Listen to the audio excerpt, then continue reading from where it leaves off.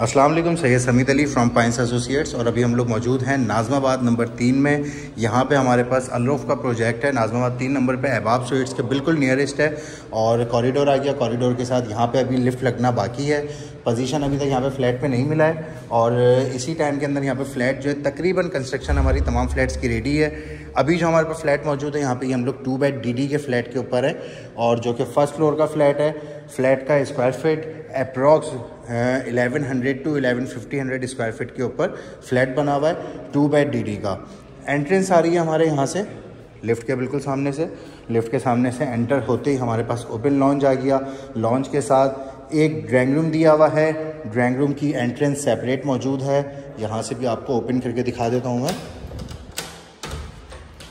यह आ गई सेपरेट एंट्रेंस और सेपरेट एंट्रेंस के साथ यहाँ से हमारी मेन एंट्रेंस इधर स्लाइडिंग डोर लगा के इस ड्राइंग रूम को पैक कर सकते हैं। इसके साथ यहाँ पे इन्होंने सेपरेट किचन दिया हुआ है। किचन के लिए यहाँ पे वेंटिलेशन के लिए विंडो मौजूद है।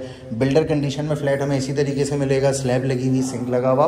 और इसके अलावा कैबिनेट्स का जो भी काम होता है वुडन वर्क जो भी होता है, वो बिल्डर्स हमें इसमें नहीं करके देते। ये आ गया फ़र्स्ट बेडरूम इस बेडरूम के अंदर एक अटैच बात आ गया। साथ में यहाँ पे गैलरी दी हुई है।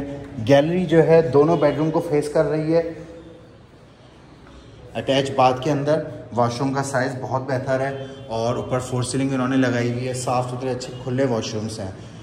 यहाँ से हम लोग जाते हैं दूसरे बेडरूम के अंदर। ये आ गई गैलरी गैलरी का साइज़ भी अच्छा दिया हुआ है। छोटा साइज़ नहीं है गैलरी का और बिल्कुल अहबाब स्वीट्स के साथ ही प्रोजेक्ट है। इसके अंदर हमारे पास बैक साइड के फेस बैक साइड के फ्लैट्स भी अवेलेबल हैं और इसके अंदर फ्लैट्स हमारे पास कॉर्नर के और रोड फेसिंग के भी फ्लैट्स अवेलेबल हैं। सेकंड बेडरूम भी इसका विज़िट कर लेते हैं।